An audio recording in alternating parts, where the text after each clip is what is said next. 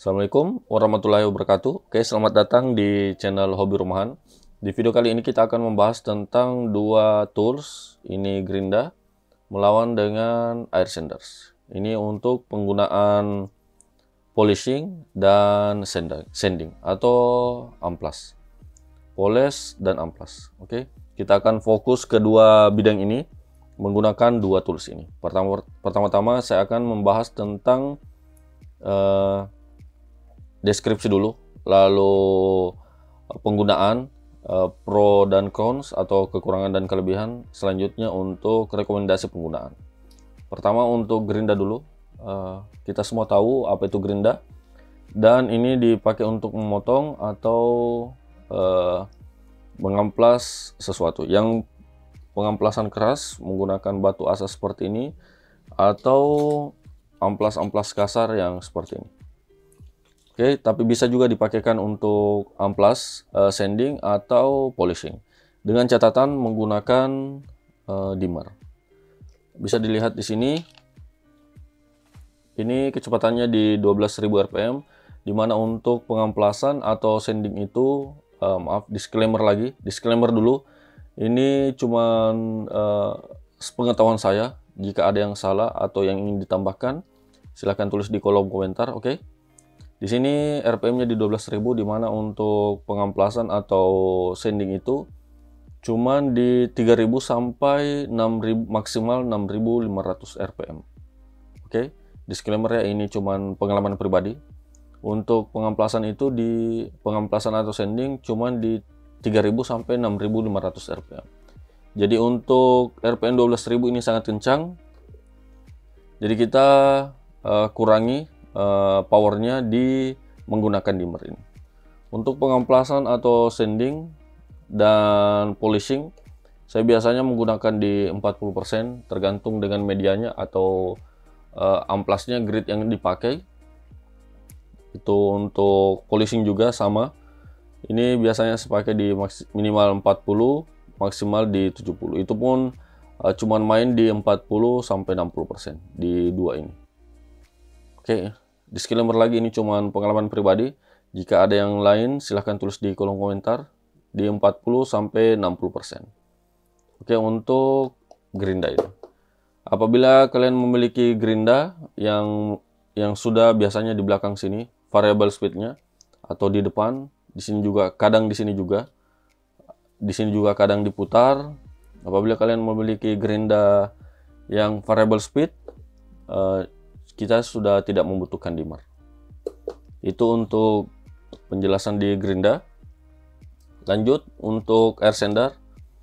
Ini penggunaan uh, sanding atau pengamplasan dan polishing juga sangat baik.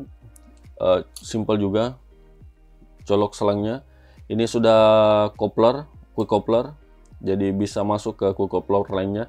Ini modelnya di PF20 ini settingannya ini maksimal dan ini close. Tutup ini open full. Oke ini terputar 360 derajat jadi bisa terserah mau diputar ke mana. Pokoknya ini maksimal bisa dilihat jaraknya begini dan ini nol. Oke ini penggunaannya di 2 bar sampai 4 bar. Untuk kompresor 1 HP susah. Oke jadi sebaiknya menggunakan kompresor 2 HP ke atas ini juga sangat kokoh build quality-nya sangat kokoh. Ini uh, kayaknya besi cor di dibalut dengan uh, karet rubber seperti ini.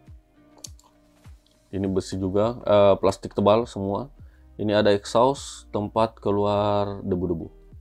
Ini padnya agak tebal makanya saat saya pakai ini biasanya saya lapis dengan pad yang lembut seperti ini yang ini yang putih pasti saya pakaikan ke sini. Dan ini ukurannya di 6 inci. Ini untuk gerindanya di 4 inci. Saya pakaikan begini. Maaf di 5 inci. Ini 5 inci. Dan ini gerindanya 4 inci tetap saya pakaikan pad karena ini sama pad yang biru ini. Dan kuning ini sangat tebal dan keras. Makanya saya pakaikan lagi pad yang lembut. Lanjut untuk kekurangan dan kelebihan kekurangan ini yang pertama ini berat dan besar sangat sulit dikendalikan uh, meskipun menggunakan dimmer. Oke. Ini sangat berat jujur saat pemakaian pengamplasan atau sanding ini lumayan berat. Jadi consnya di situ uh, kelebihannya ini sekarang sudah sangat murah walaupun ini Bosch tapi ini model lama GWS 060 ini sangat murah. Uh, link pembelian saya cantumkan di video deskripsi. Oke, okay. uh, ke kelebihan Apabila kalian memiliki uh, maaf kekurangan yang lainnya dulu, uh, ini tidak belum memiliki variable speed, makanya harus menggunakan dimmer.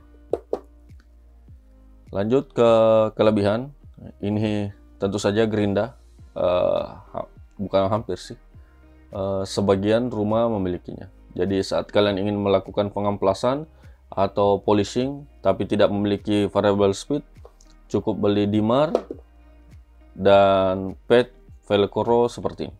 Cukup seperti itu. Sangat simpel.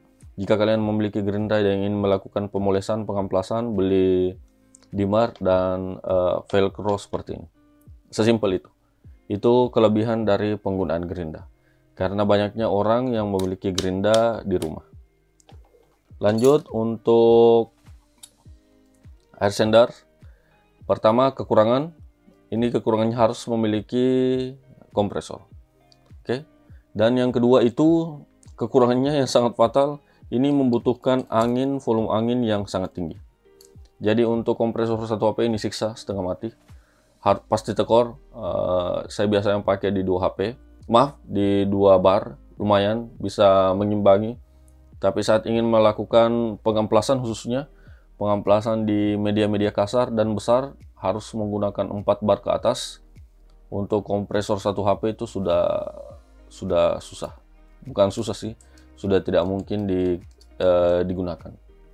Karena memang ini konsumsi anginnya sangat tinggi karena putaran juga sangat kencang. Tidak ada maaf, tidak ada limit uh, sesuai ini berputar sesuai dengan maaf, sesuai dengan angin yang uh, ditiupkan ke dalam. Oke. Okay? Lanjut kelebihannya ini murah dan ini jujur kokoh sekali kokoh sekali nyaman dipakai cukup ditekan lalu ini ditekan ini sangat natural sekali posisinya sangat natural sekali jadi sangat nyaman dipakai lanjut untuk peruntukan uh, saya juga sebenarnya kurang merekomendasikan kedua ini. Karena sudah zaman sekarang air sanders atau maaf uh, polishing elektrik atau uh, sender elektrik itu sudah lumayan murah. Jadi untuk penggunaan yang listrik atau elektrik lebih baik menggunakan polishing elektrik atau uh, sender elektrik. Oke? Okay? itu jauh lebih simpel. Tapi apabila kalian tidak ingin menambah tools dan ada kedua ini ini sangat saya rekomendasikan untuk penggunaan uh, polishing dan uh, sending. Oke. Okay? Tapi apabila kalian memiliki kompresor 2 HP ke atas, ingat uh, saya saya tekankan lagi di sini, untuk kompresor 2 HP ke atas ini sangat recommended sekali. Tapi untuk kompresor 1 HP ke bawah uh, susah. Ini sangat susah. Saya sudah alami secara pribadi pengalaman saya menggunakan kompresor 1 HP ini sangat susah. Harus menggunakan dua bar, itu pun dua bar uh, sangat lemot untuk pengamplasan kasar dan media besar. Jadi lebih sebaiknya menggunakan ini. Uh, saya tekankan lagi disclaimer, ini cuma pengalaman pribadi, oke? Okay? Jadi apabila kalian memiliki ini, cukup pakai ini saja. Tidak bukan variable speed, beli dimmer dan beli velcro seperti ini. Ini cuma untuk kalian yang memiliki kompresor 2 HP ke atas. Oke. Karena di satu HP sangat tekor. Oke, sekian dulu untuk video kali ini untuk perbandingan antara Gerinda dan Air Sanders. Oke, sekian dulu. Semoga bermanfaat. Assalamualaikum warahmatullahi wabarakatuh.